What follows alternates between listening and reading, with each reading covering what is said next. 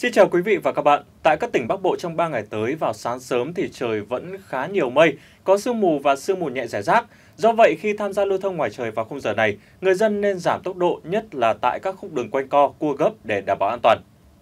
Cùng với đó thì vùng hội tụ gió yếu trên tầng khí quyển cao còn duy trì, sau đó thì mở rộng sang khu vực các tỉnh phía Đông Bắc Bộ và suy yếu đi. Do vậy mà mưa thì sẽ xuất hiện nhiều hơn tại các tỉnh khu vực phía Tây như tại Lai Châu hay là tại Điện Biên trong ngày mùng 5. Sau đó thì vùng mưa lan nhanh sang các tỉnh vùng núi giáp danh như là Hà Giang, Tuyên Quang, Bắc Cạn, Cao Bằng, Lạng Sơn và một số tỉnh ven biển phía Đông Bắc Bộ. Tuy nhiên thì lượng mưa không quá nhiều và thời gian mưa không kéo dài nên trời sẽ nhanh chóng tạnh giáo.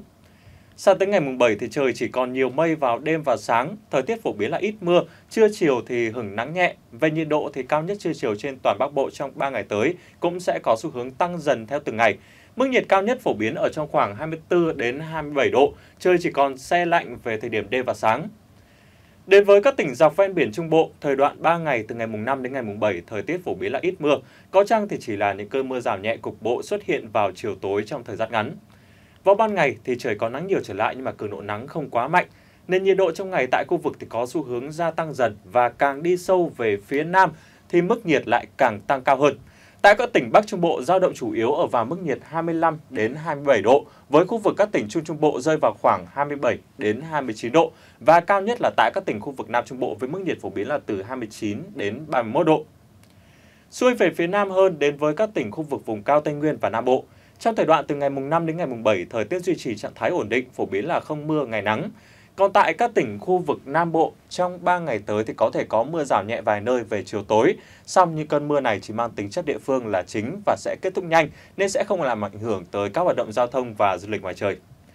Về tình hình nhiệt độ thì ít có sự biến đổi. Nhiệt độ cao nhất trưa chiều tại các tỉnh khu vực vùng cao Tây Nguyên phổ biến ở vào khoảng 27 đến 30 độ, còn với khu vực Nam Bộ thì nhiệt độ từ 30 đến 33 độ. Chuyển sang với những thông tin thời tiết trên biển. Ở tại khu vực Bắc và giữa Biển Đông, bao gồm vùng biển quần đảo Hoàng Sa, phổ biến có mưa vài nơi, gió đông hoạt động ở cường độ cấp 4, cấp 5, thời tiết ít mưa, tầm nhìn xa thông thoáng. Với khu vực Nam Biển Đông bao gồm vùng biển quần đảo Trường Sa thì thịnh hành trường gió Đông Bắc hoạt động không mạnh nhưng mà có mưa rào và rông rải rác. Trong cơn rông thì cần lưu ý đề phòng với thời tiết cực đoan tiềm ẩn như là lốc xoáy và gió giật mạnh. Như vậy, tại các tỉnh miền Bắc trời nhiều mây, đêm và sáng sớm, có sương mù và sương mù nhẹ rải rác, có mưa nhỏ trong hai ngày là mùng 5 và mùng 6, sau đó thì mưa sẽ giảm nhanh. Cảm giác lạnh chỉ còn tập trung vào đêm muộn và sáng sớm.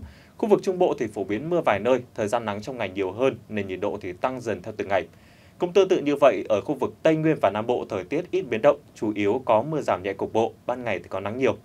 Đến đây bản tin thời tiết cuối ngày 4 tháng 1 của chúng tôi xin được khép lại. Xin kính chào tạm biệt và chúc quý vị có một đêm ngon giấc.